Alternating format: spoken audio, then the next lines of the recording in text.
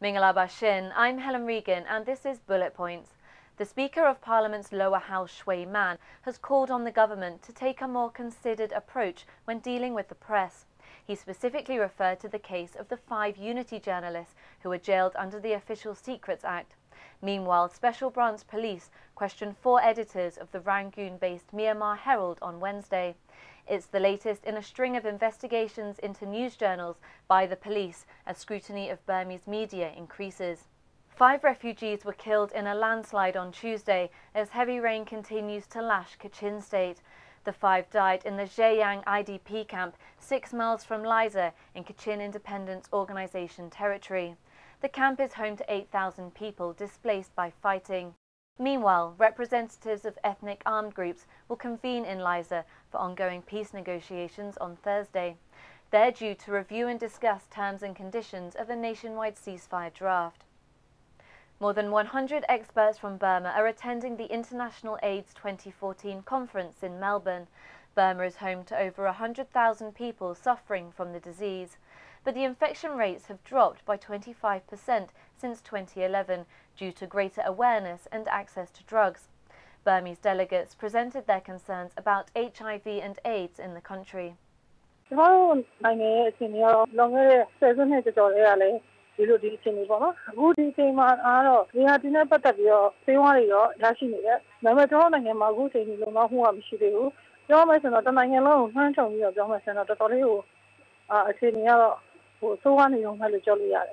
Leaked documents reveal that Hong Kong businessman Jimmy Lai Chee-Ying paid $75,000 to the US Deputy Defense Secretary for work in Burma.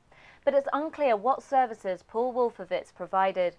900 leaked files show transfers made by Lai to Burmese NGO Mingala Myanmar and divulges his property interests in the country.